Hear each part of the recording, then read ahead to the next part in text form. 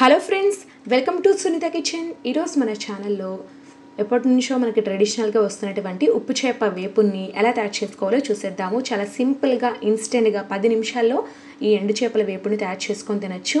మనం చిన్నప్పటి నుంచి కూడా వినే ఉంటాం కదా పప్పుచారు ఉప్పు చేప కాంబినేషన్ అనేది అదిరిపోతుంది. సో ఇప్పుడు ఈ ఉప్పు చేప ఫ్రైని ఎలా సింపుల్గా తయారు చేసుకోవాలో చూసేద్దాము. మనం ఇంట్లో పప్పు రసం సాంబార్ లాంటివి చేసుకున్నప్పుడు సైడ్ డిష్గా ఈ ఉప్పు చేప ఫ్రై చేసుకుంటే చాలా బాగుంటుందండి. ఇప్పుడు తయారీ విధానాన్ని చూసేద్దాము. ముందుగా స్టవ్ మీద ఒక కడాయి పెట్టుకొని మీడియం ఫ్లేమ్లో ఈ కడాయిలోకి రెండు వందల గ్రాముల దాకా ఎండు చేపల్ని తీసుకొని ఇలా మీకు నచ్చిన సైజులో కట్ చేసి వేసుకోండి. నేను ఇక్కడ మీడియం సైజులో కట్ చేశాను. మీకు కావాలంటే కాస్త చిన్న సైజులో కూడా కట్ చేసుకోవచ్చు. ఇప్పుడైతే ఈ ఎండు చేప ముక్కల్ని ఒక మూడు నాలుగు నిమిషాల పాటు డ్రై రోస్ట్ చేసుకోవాలండి. ఇలా చేయడం వల్ల వీటి పైన ఉన్న పులుసు అనేది బాగా ఎండబెడతారు కాబట్టి గట్టిగా అయిపోతుంది. అదే మనం ఇలా డ్రై రోస్ట్ చేసుకోవడం వల్ల ఈజీగా పోతుందన్నమాట మనం కడిగినప్పుడు. అదేవిధంగా పైన కాస్త కలర్ చేంజ్ అయ్యేంత వరకు ఫ్రై చేయండి.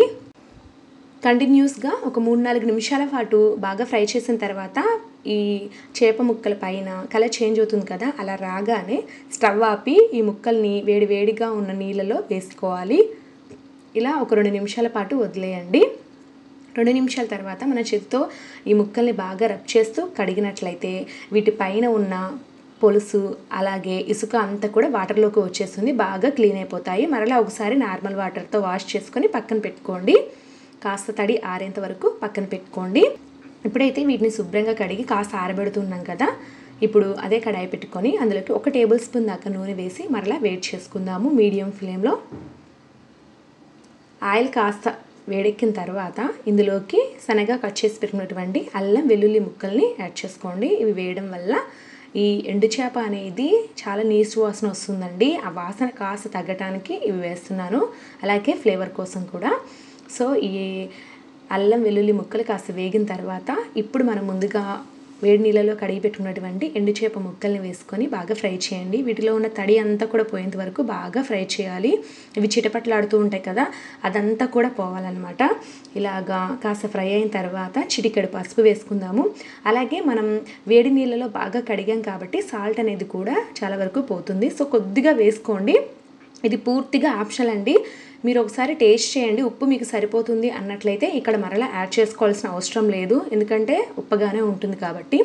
అలాగే ఒక అర టీ స్పూన్ నుండి ఒక టీ స్పూన్ దాకా కారం వేసుకోండి. ఇప్పుడు చివరగా గరం మసాలా పౌడర్ కూడా ఒక అర టీ స్పూన్ దాకా వేసుకుంటే సరిపోతుంది. వేసుకొని బాగా ఫ్రై చేయండి. ఈ మసాలా అంతా కూడా ముక్కలకి అన్ని వైపులా కూడా పట్టే విధంగా కలుపుకుంటూ ఒక్క రెండు నిమిషాల పాటు ఫ్రై చేసినట్లయితే ఆల్రెడీ మనం ముందుగా డ్రై రోస్ట్ చేసుకునేవే కాబట్టి ఇవి చాలా త్వరగా వేగిపోతాయండి. వీటిని డీప్ ఫ్రై చేయాల్సిన అవసరం కూడా ఉండదన్నమాట. ఇలా సింపుల్గా కొద్దిగా ఆయిల్లోనే ఫ్రై చేసుకోవచ్చు. రెండు మూడు నిమిషాల పాటు కంటిన్యూగా ఫ్రై చేసిన తర్వాత మనకి ఈ ఉప్పు చేప వేపుడు అనేది రెడీ అయిపోయింది. కరకరలాడుతూ చాలా బాగుంటుందండి. తినేటప్పుడు మాత్రం కాస్త సాఫ్ట్గా ఉంటుందన్నమాట.